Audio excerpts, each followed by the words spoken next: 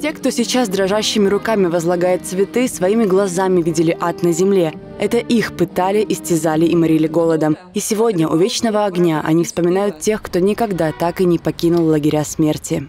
Там много можно рассказать, как нас бомбили а, американцы, как нас прямо в лагере. У нас не было негде прятаться, были какие-то окопчики. И как люди, которые были с нами, пленные, как они при нас же умирали, как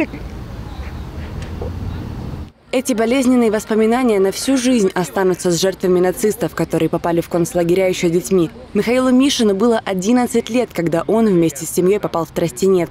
Там немцы убили его родителей и младшего брата, а маленького Мишу заставили тяжело работать на торфяных копях. Трое нас было, младшего, как тут уже сказали, кровь, наверное, у него брали, он там умер. И нас, детей, в том числе, заставляли брикеты ходить по специальным заливным поверхностям, чтобы их переворачивать, чтобы они сохли. День освобождения Михаил Мишин помнит так, как будто это было вчера. 4 июня, когда Минск освободили, я увидел звезды на танках Т-34. Я во весь рост встал.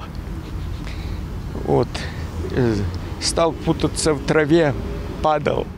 В руках у Михаила два букета. Он возложил их на аллее славы у стел главных городов в его жизни. Первый у Минска, где потерял детство и семью. Второй у Севастополя, где он обрел свободу.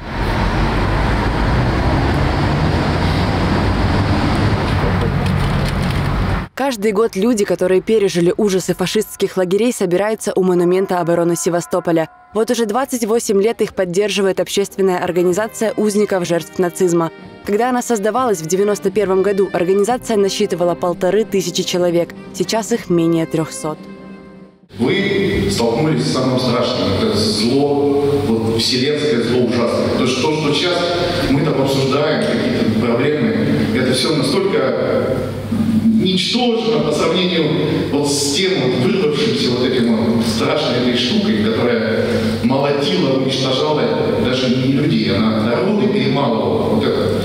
Поэтому вы тот мост, который вы передаете нам эту память, за стойкость и мужество в период Великой Отечественной членам Севастопольского союза бывших несовершеннолетних узников концлагерей вручили благодарственные письма от правительства и цветы. Екатерина Брега, Андрей Тымчук, Новости XTV.